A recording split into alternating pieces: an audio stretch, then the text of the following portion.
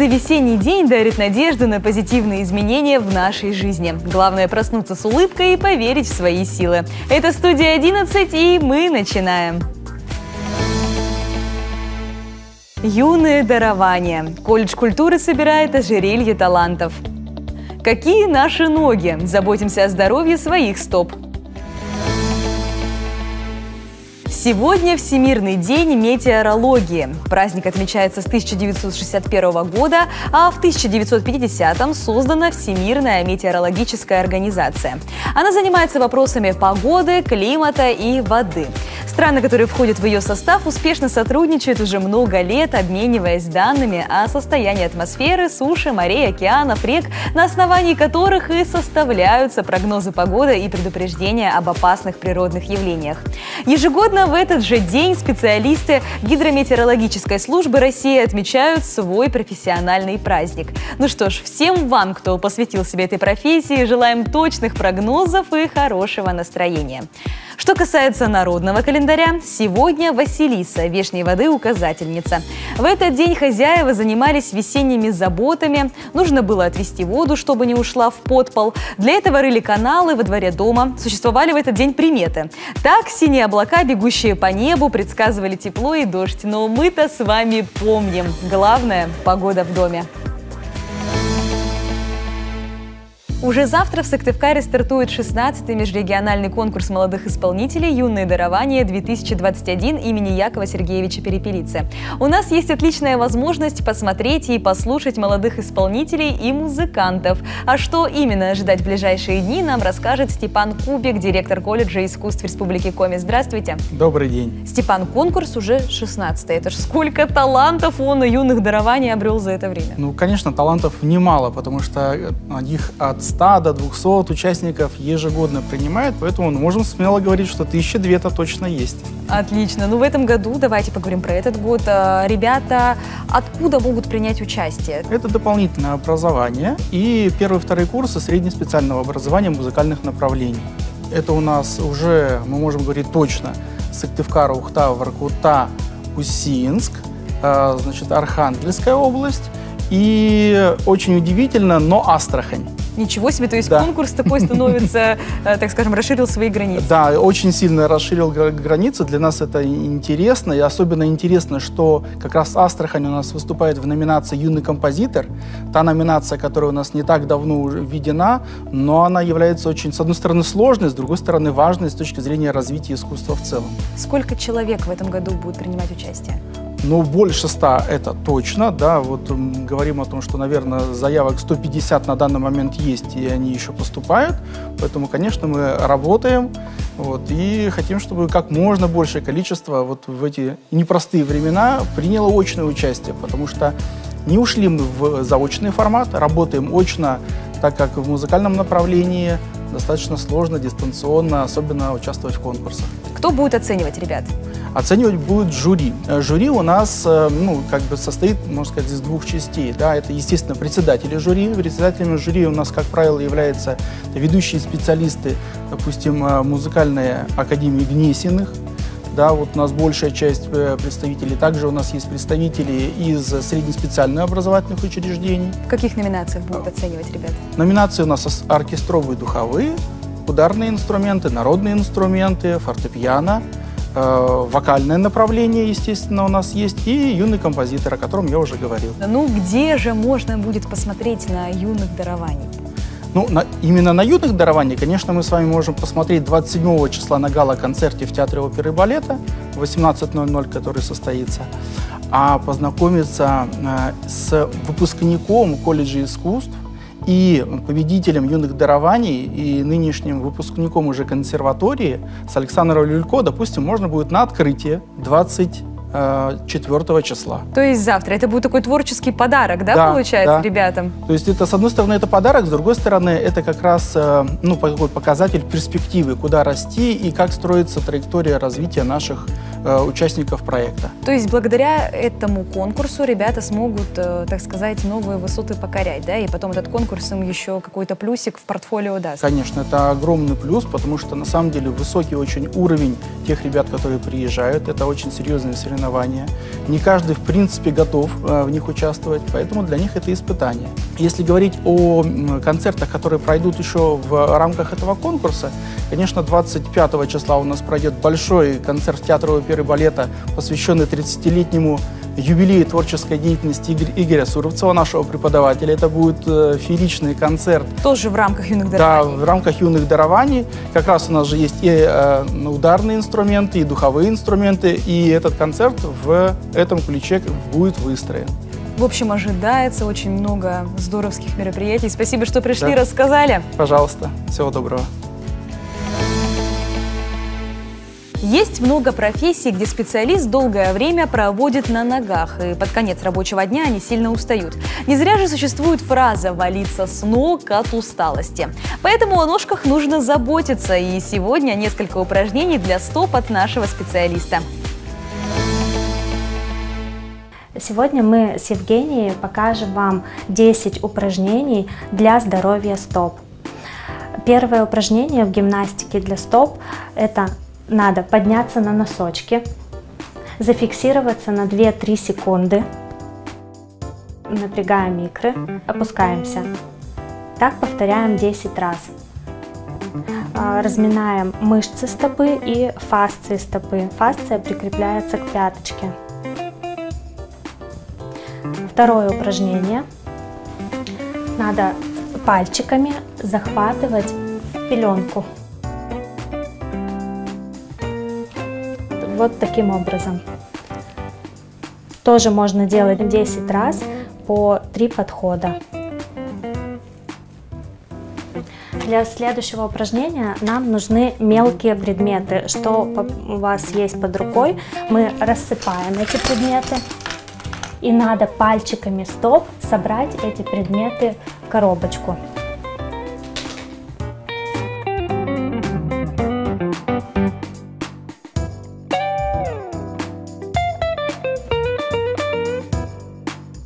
Для следующего упражнения нам понадобится резинка для фитнеса. Надо сесть на стул. Э, почему это, эти упражнения мы делаем сидя? Нам надо, чтобы работали только мышцы стопы. Не бедра, не колени, а мышцы стопы.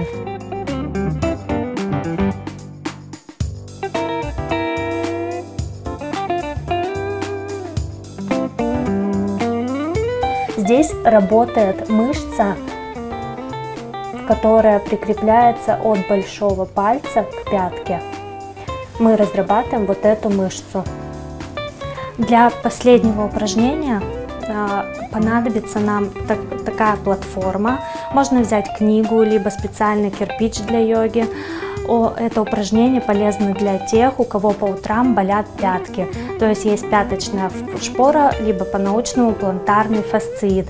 Мы будем растягивать э, фасцию стопы. Надо встать. Можно пока одной ножкой.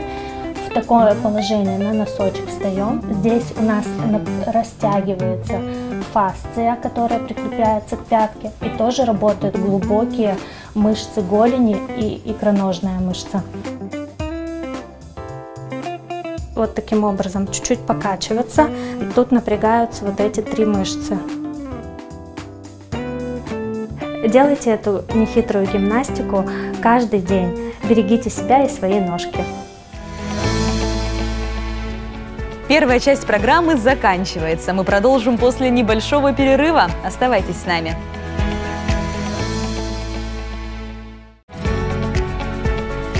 Это студия 11. Не переключайтесь, и тогда узнаете кое-что интересненькое. Забота и внимание. Волонтеры Победы из Вуктыла заглянули в гости к ветеранам.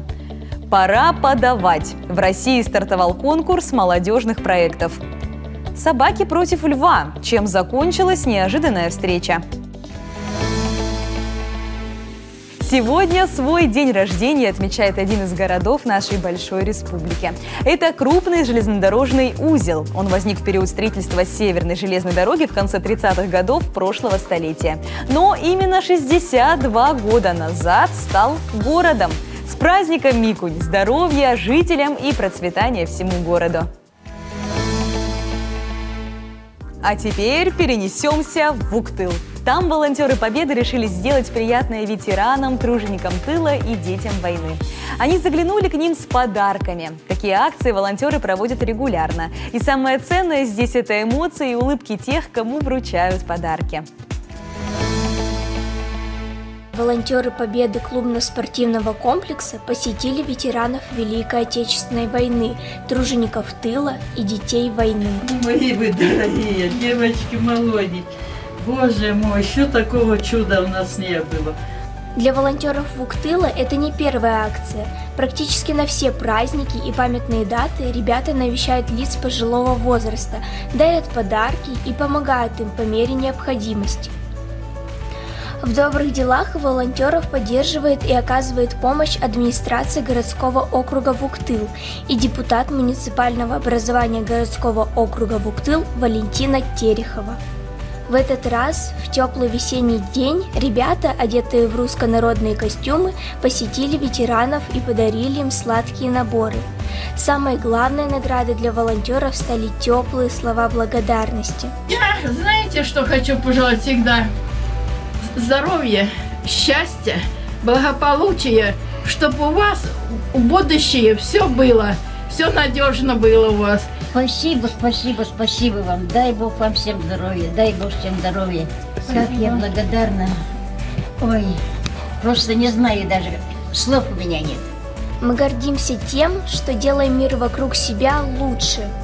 Мы счастливы, что дарим старшему поколению улыбки, яркие моменты и радость. Мишенька, спасибо. До свидания.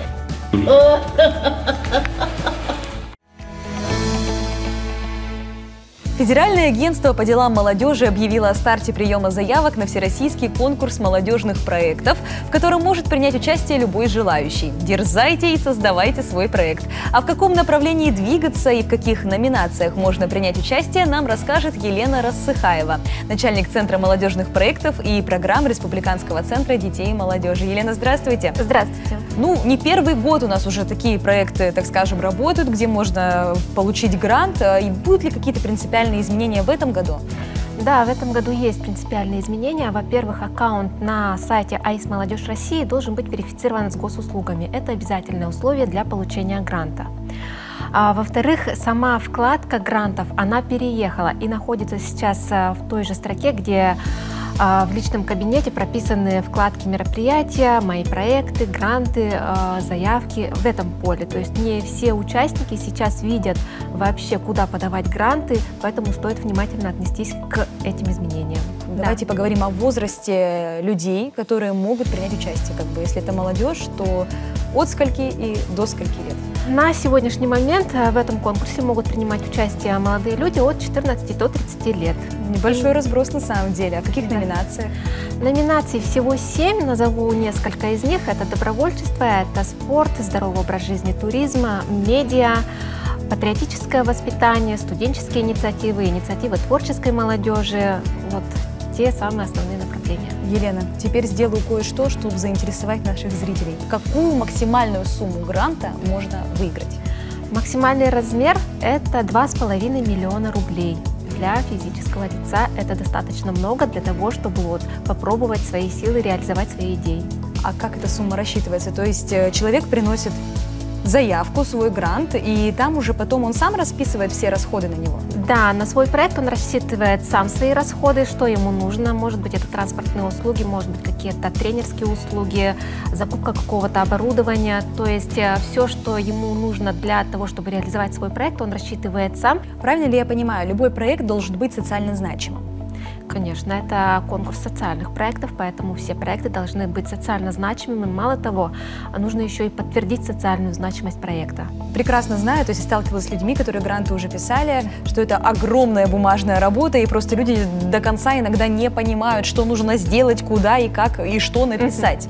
А, специалисты вашего центра помогают ли в оформлении грантов? Конечно. А мало того, что помогают специалисты нашего центра, у нас еще и сформирован сформирован пул экспертов молодежного проектного офиса Республики Коми, куда входит э, более 20 экспертов, не только города Сыктывкар, но и в муниципалитетах. И они уже сейчас активно оказывают консультационные услуги по подготовке проектных заявок. Не, и даже не только по подготовке, но и по разработке самого проекта. Готовы оказывать услуги как в очном формате, так и в дистанционном. Елена, давайте еще раз проговорим. Вот если человек хочет написать грант, подать свой проект на рассмотрение, что ему нужно сделать, куда ему э, свою работу отнести? Если ему не совсем понятно, что именно нужно делать, он может обратиться к нам в, э, в Республиканский центр детей и молодежи, непосредственно может обратиться ко мне. Сама заявка подается на сайте АИС «Молодежь России». Это все, что нужно знать? Да, этого достаточно. Главное а, четко руководствоваться правилами конкурса и методическими рекомендациями, которые были выпущены в этом году Росмолодежью. Все четко прописано, и если им следовать, то победа, она просто неизбежна.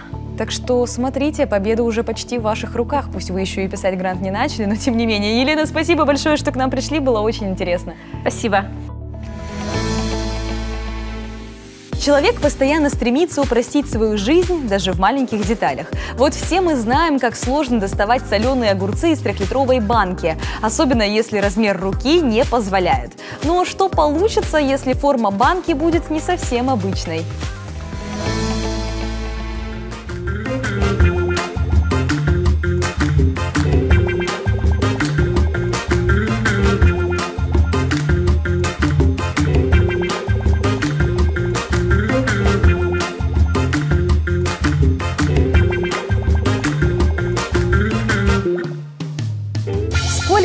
И анекдотов ходит про грузчиков. И надо сказать, не безосновательно. В подтверждение тому следующее видео.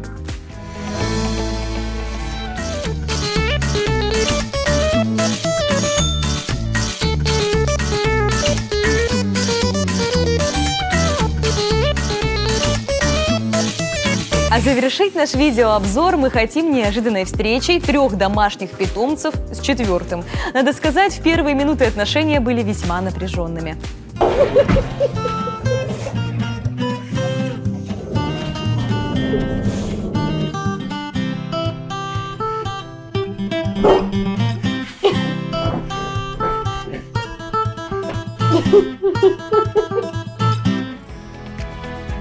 И пока это все, о чем мы хотели рассказать. Наша команда отправляется на поиск интересных тем и собеседников. Напоминаю, если у вас есть что рассказать и показать, присылайте свои фото и видеоматериалы на нашу почту. Ее увидите на экране. Хорошего вам настроения и до встречи в эфире.